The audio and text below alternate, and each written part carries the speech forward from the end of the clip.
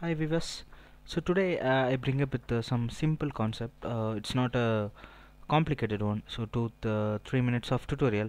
So uh, here uh, I have an uh, action link. So this will generate me the HTML anchor tag uh, like this. So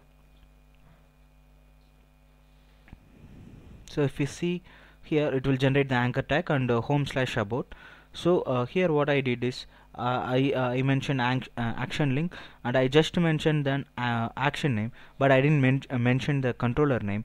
But here see it's formed like slash home slash about home is actually the controller. So this is the controller which default uh, for the index. So I'm in index of the home in, uh, home controller.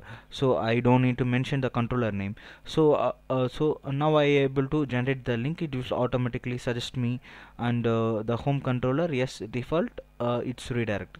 See now I have another requirement. See mm, I have the action in a different folder. So here example yes. Here I want to uh, redirect to my page uh, to login uh, in an account controller. So how to do uh, these are topics that I am going to show you. Because uh, see normally if you mention directly login it won't redirect because uh, it will check the views under the controller but it is not really. So you need to redirect now uh, to the different controller. So you need to go and find it with a different controller. So how to do that one? It's very simple. So action link will accept one more parameter. So uh, if you keep the comma you will be able to see this. So uh, it is asking for the route value uh, but we we are not going to pass the route value. Instead of that uh, here we'll uh, mention the controller name and again just comma. So now you, able to see uh, the HTML attributes. So if you uh, just mention so normally action uh, link uh, won't uh, tell you that to see if you normally if you mouse over you can able to see from the HTML helper uh, the link text action name and the controller name. If you try to uh, do uh, the things like a command you want to pass the parameter you won't normally get it.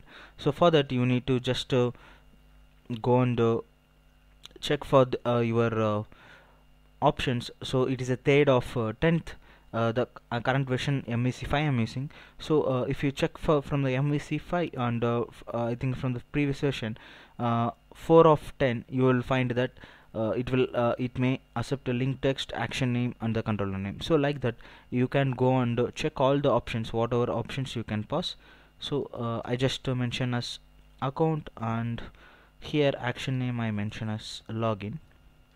And the link text obviously uh, you need to tell that something like um, sign in something. Yep.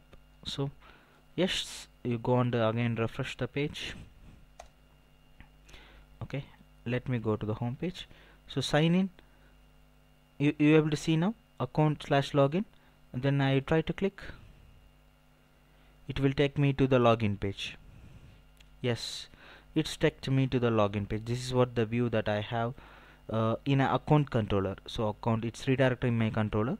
So it's uh, very simple. Uh, so you can check the options of the action link. So every time if you try to do something go through all the options that uh, normally provides from the tool uh, tools in sense the DLL uh, MVC DLL so uh, this uh, HTML helper it will it it's uh, keep upgrading. Uh, if every versions you need to try to compare with the older versions what is being improved for from the previous version. So that will help really helpful to use lot of easy features uh, that uh, you must know that uh, always you need to.